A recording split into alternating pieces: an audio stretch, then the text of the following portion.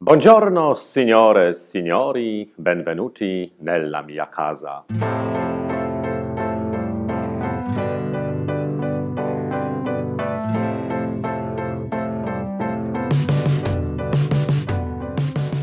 Bem-vindo à Casa Farina, o local de criação da água de Colônia. Farina, 1709, é a fábrica de perfumes mais antiga do mundo.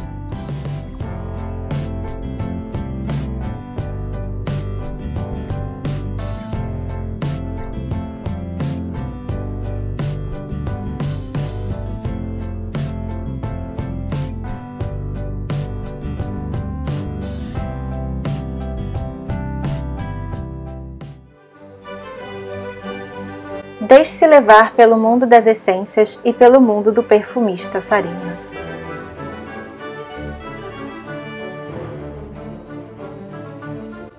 Rococô, uma época de luxo. Foi aí que Farina criou o perfume que ainda surpreende as pessoas. Cologne, ou Água de Colônia, foi o nome que ele deu ao seu perfume que lembrava as manhãs de primavera depois da chuva na Itália.